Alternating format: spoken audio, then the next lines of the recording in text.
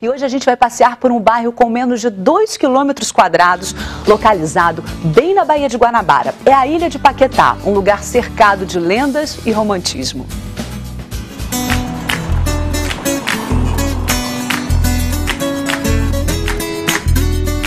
Centro da cidade do Rio de Janeiro, em pleno domingo. Quem passa por aqui percebe algo diferente, um quê de bucólico no ar.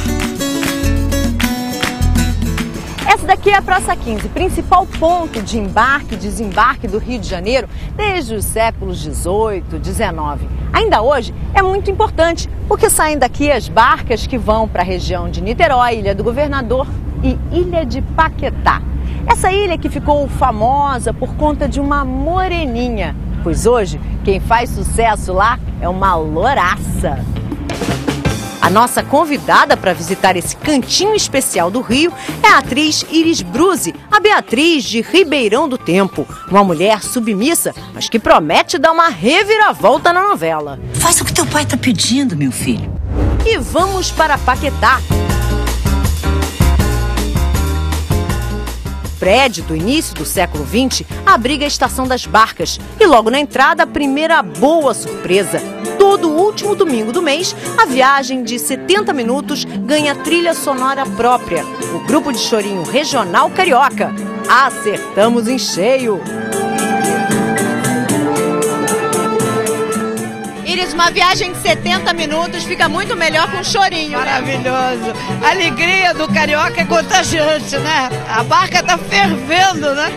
Agora, Paquetá é uma, uma, uma, ilha que ficou famosa por causa da moreninha. Hoje quem vai mandar em Paquetá é a Louraça. É, vai ser muito boa, né? Eu acho que vou ficar muito emocionada, viu? Porque eu era uma garotinha quando eu vim aqui. A vista da barca encanta o olhar. Os contornos da cidade ganham nova perspectiva.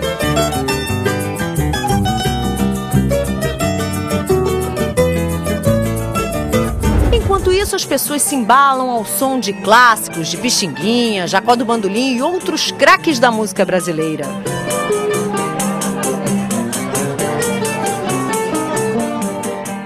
Finalmente, terra à vista!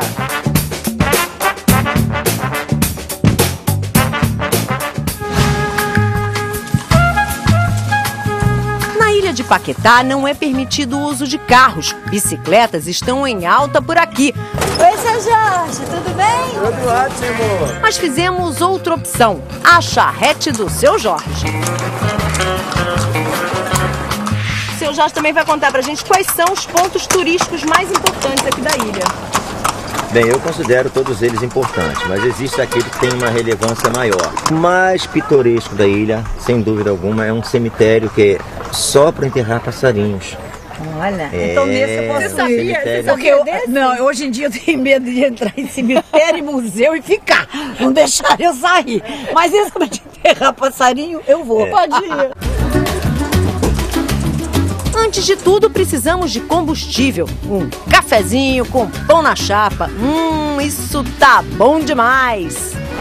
A ilha também é famosa por ser cenário do filme A Moreninha, inspirado na obra de mesmo nome do autor Joaquim Manuel de Macedo.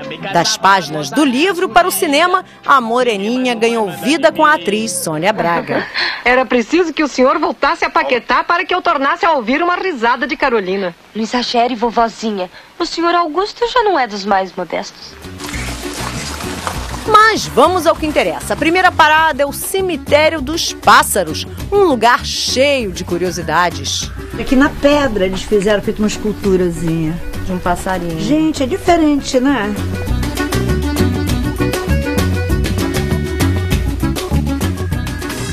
Passear por Paquetá é como fazer uma viagem no tempo. O único barulho que se ouve é o trotar dos cavalos na charrete. Aqui as pessoas são calmas, né? Muito legal. É um outro ritmo de vida. A arquitetura é uma das atrações da ilha. Casas e natureza parecem viver em harmonia por aqui. E olha só o que chamou a atenção da Iris: uma casa com roda d'água. Linda, eu nunca tinha visto isso numa casa. Uhul! Até parece que estamos em Ribeirão do Tempo, hein? Vai, vai. Agora voltamos a Charrete. Nosso próximo ponto é a Praia José Bonifácio. As águas calmas são um convite tanto para um passeio de pedalinho. A praia guarda uma lenda e é para dar uma forcinha nos assuntos do coração. Se uma jovem ou uma mulher que queira se casar, pode jogar pedrinhas lá em cima. De costas, ela formaliza um pedido. Aí ela fica de costas e joga a pedrinha, joga lá em cima, é. exato. Se a pedrinha ficar, o seu pedido, o seu desejo será atendido.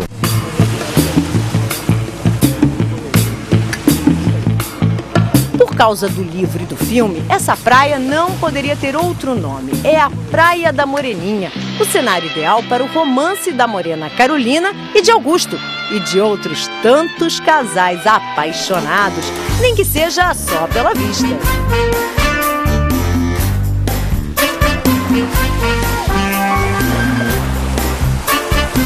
Esse é o famoso baobá aqui da ilha de Paquetá. Para quem não lembra, o baobá é aquela árvore também do Pequeno Príncipe. Essa daqui foi plantada 1627. Olha aqui, tem uma lenda aqui. Sorte por longo prazo a quem me beija e respeita. Mas sete anos de atraso a cada maldade a mim enfeita. Maravilha. O baobá. A árvore impressiona pela força e grandeza. São sete metros de circunferência. E aí vai mais um detalhe. Olha, eu tô me sentindo uma menina. Porque todo lugar que eu vou eu sou mais velha, mas aqui não, Baobá. Essa Baobá tem 383 anos. E é uma menina, porque diz que essa árvore vai há mil e poucos anos, né? 1.300 anos. Agora vamos beijar. Vamos beijar sorte, sorte. com certeza. Uau!